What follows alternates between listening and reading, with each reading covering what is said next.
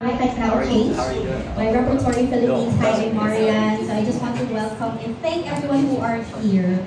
So again, just some guidelines for our friends from the media. You can take photos and videos. Just, just don't forget to tag us at Repertory Philippines and use the hashtags I love you Rep 2024. So if you have any questions, you can always ask our PR team, whether you know or, or me or Alyssa. But without further ado, I just want to call here uh, the director of our musical, Miss Menchu Lauchengco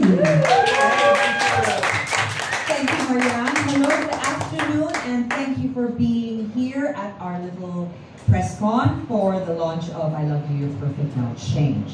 We're all very excited, and uh, on behalf of Mindy Perez Rubio, who unfortunately cannot be with us today, so she tasked, she gave me the task to welcome everyone and sort of tell you a little bit about the season.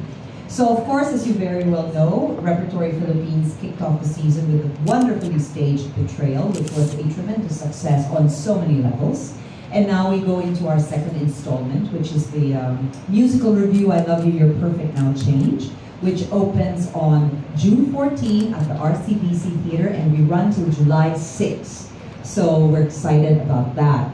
And then we go into Jepoy and the Magic Circle, which will also launch the new home of Repertory Philippines, which will be at the Eastwood City. Is, uh, is there a title to the theater now? Not yet. So watch out for that. That is going to be the new home of Repertory Philippines which will be launched with Jepoy and the Magic Circle, which is the children's theater for Repertory Philippines.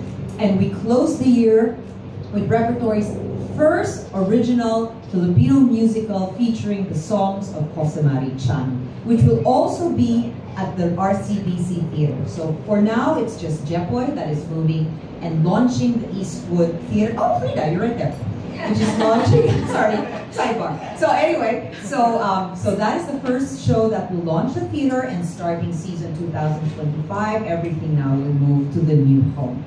And so without further ado, I would like to give you a little excerpt of the little musical that I am so um, honored to be given or to have been asked to direct.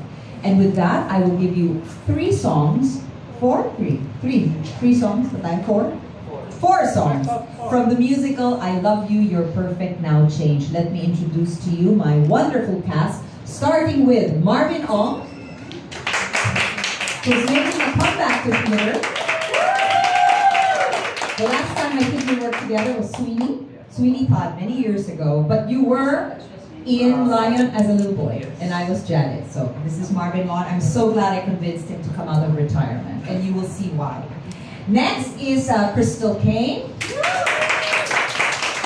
also been away from the theater for a while. And then we have Gabby Padilla. And of course, Gian Maldonado. I also have two amazing understudies, Barbara and Davey Merchant. And uh, just to give you a little idea about the musical, it's it's really there is no real narrative. So it's basically a musical review, and they're all different kinds of vignettes that talk about different kinds of relationships, about people trying to connect uh, in the world we live in today. And these two, Barbara has to study both their roles and Davy has to study both their roles, which uh, if I, I, am watching them in rehearsals and I'm like, wow, how do they not get confused? And when you watch the show, you will understand why. So again, without further ado, let me give you songs from I Love You, You're Perfect, Now Change.